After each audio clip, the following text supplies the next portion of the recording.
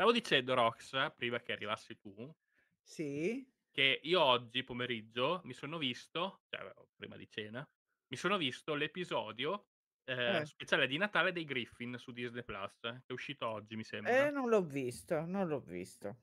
Allora, è lo ben lontano dai vecchi, ehm, Griffin, quelli più pungenti, quelli più politicamente scorretti, ehm, però un paio di risate me le hanno me le hanno tirate fuori, soprattutto sul finale, perché c'erano alcune alcune cose che uhm beh, sono saltate fuori, alcune vecchie battute che, ehm, ho visto proprio quel quello stampo di Seth MacFarlane, ehm, che utilizzava anche nelle nelle prime stagioni, soprattutto non nelle primissime, ma a cavallo tra la quarta e la sesta, settima, ottava, comunque giù di lì, perché secondo me è stato l'apice dei Griffin.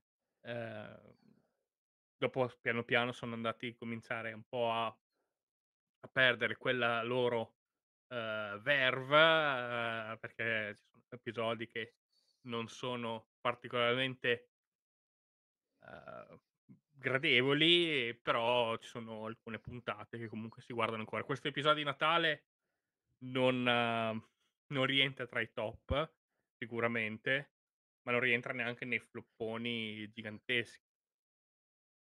Ehm, Ma non ti Rox piace? no, non non mi è dispiaciuto, ma non m'è non mi ha entusiasmato più di tanto. Comunque Rox ti voglio far notare che c'è Stewie, che è il bambino, quello piccolo, Eh? che scrive la lettera a Babbo Natale Eh? Chiedendo a Babbo Natale la stessa camicia che c'aveva Chalamet e poi gli ha legato la foto Questo lo voglio vedere assolutamente. Fa: "Vorrei" e poi fa: "E non ti chiede, poi te l'impongo" fa poi fa: "Non so quale marca sia", poi inizia a tirar fuori Balenciaga, fa: "Però vedi tu la marca", però gli allega la foto alla letteria di Babbo Natale. È proprio all'inizio. Con la foto di Timothée Chalamet, è stato lì lì paio di risate me le ha strappate.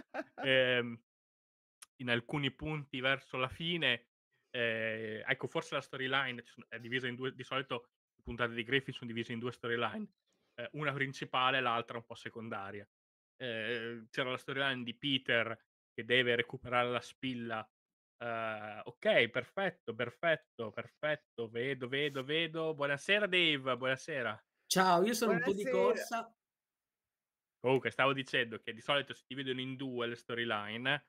La prima principale era quella di Peter che doveva recuperare la spilla di Lois che lui aveva regalato al suo capo, ehm, quella spilla di Natale, e l'altra ovviamente era quella di Stewie che scrive la lettera a Babbo Natale, Stewie è nella lista dei cattivi perché, insomma, ha cercato di uccidere sua madre, ha corrotto lo spazio-tempo, ha fatto un sacco di cose, ehm, e quindi, ehm, Stewie vuole rientrare nella lista dei bambini buoni e quindi elimina tutte le armi, bellissimo quando va a buttare le armi nel nel nell'immondizia, ehm, proprio nell'immondizia a casa, butta tutte le armi, ehm, e poi con Brian comunque ci sono sempre queste queste cose esilaranti, 'ste situazioni.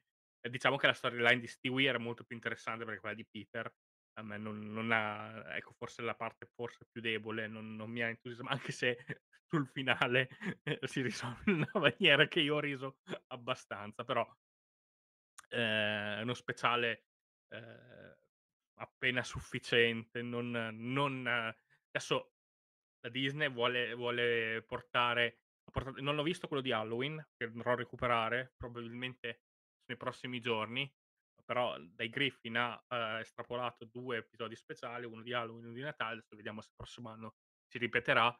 Ehm, questo di Natale Sì, alcune cose sì, alcune cose no. Io non non non sono non sono stato particolarmente cioè mi i Griffin mi hanno entusiasmato ben ben ben oltre questo questo questo questo episodio natalizio.